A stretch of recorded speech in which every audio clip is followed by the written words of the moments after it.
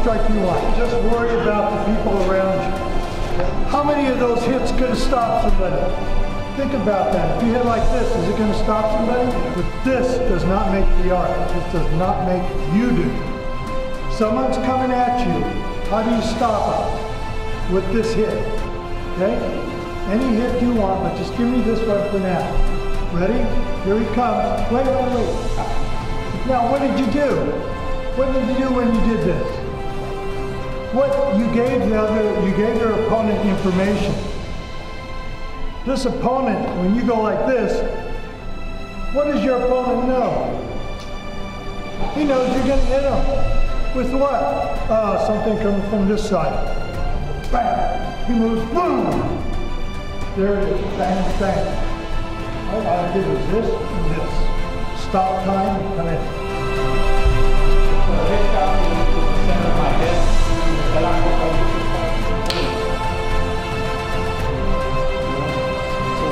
this covers the high the attacks, this covers the low of attack,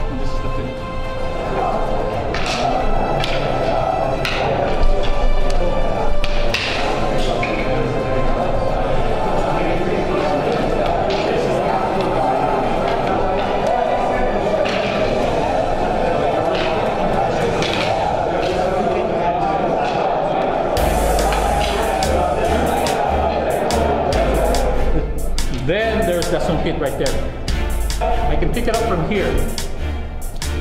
I, I tag his thumb right there. Boom.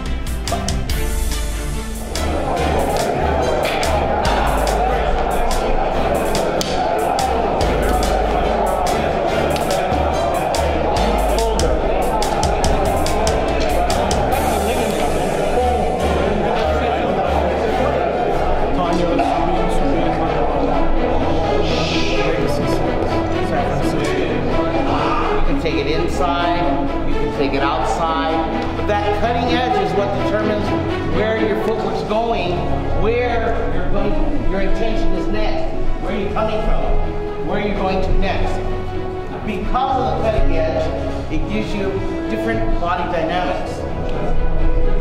Like through all the arts, you have your long range, your mid range, your close range.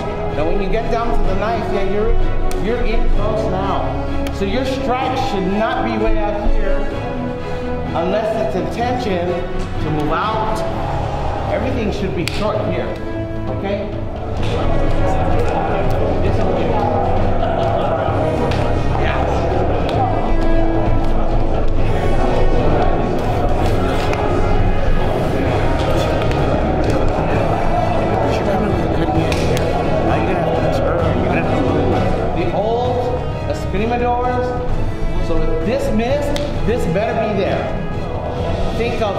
Constant forward motion. Whether you're angling out or you're angling in, you're still going forward. Okay? When something's coming in, you're cutting that radius and then you're going forward. And I, uh, yeah, I can, I can parry, right? I can scoop, right? But all I want to do is stop. That's all I want to do, right? So when I do the stop, this is nice, this is mean, and this is the one that you actually want to practice. I want to break his sternum on the entry. That'll stop a secondary stroke. So I'm going to come here like this. So do this nicely, right? Now the, the low line is open, so let him have it so that you can come through, and then you break the arm, and then do your disarm. Right? Technique that my father used to do all the time, where you lift it and spear that way instead. Sorry about that. Lift, spear, right? Now from here, what I'm gonna do is I'm gonna come to this position. I, I need this alignment so that can drag his leg out. Now I can keep the leg out. Now I can, right? So Cadena de Mano is from my dad's teacher, Max Sarmiento, and he'll respond like this sometimes, right? or maybe he'll come from here and go this way. But also, we come through here and we learn to do this stuff here. So now I'm not even responding to the hand anymore.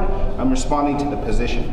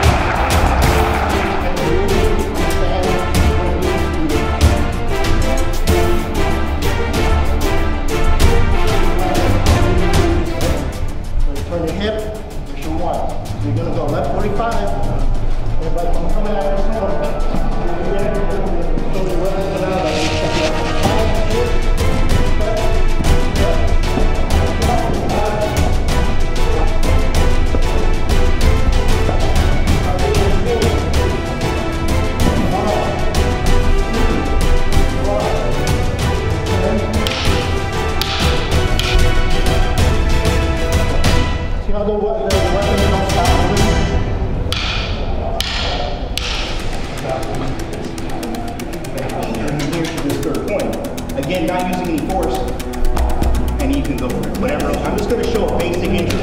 As he presents his punch and I come in, okay? Now I'm gonna take his head and I'm moving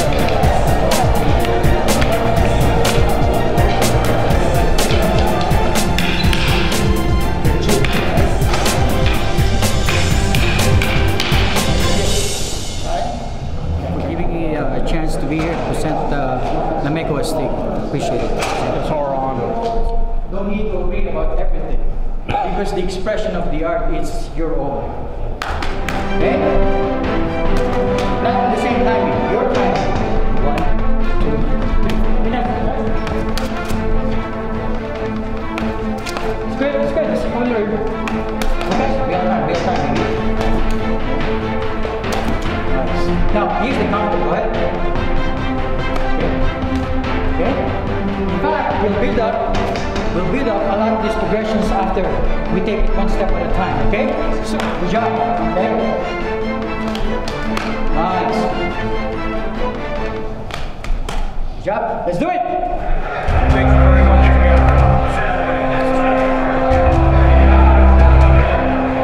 Yeah, my name is Master Joel. I'm not Filipino martial arts, Stockton, California, 209. Most of you know Stockton is the mecca of Filipino martial arts in the United States outside of the Philippines. Something we take great pride in.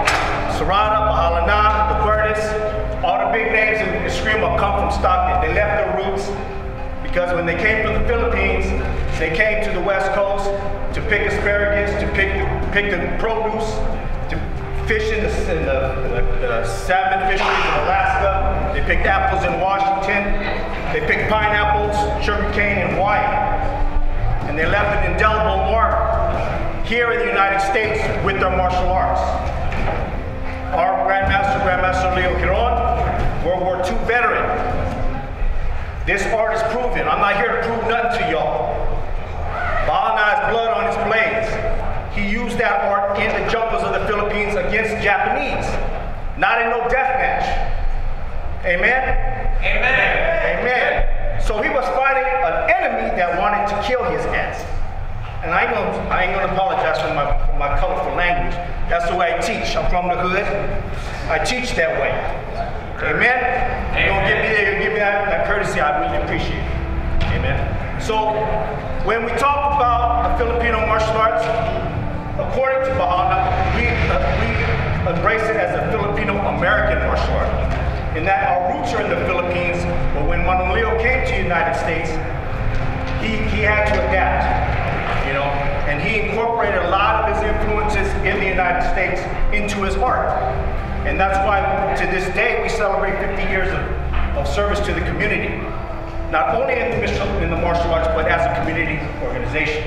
I was fortunate, and Darren was fortunate enough to grow up with all those old timers. You know, he was a Manong Angel, I was Uncle Leo, but we had all those Toy Revillar, uh, the Latosa's family, the Inosanto family. You know, there's a rich history in Stockton that we're very proud of.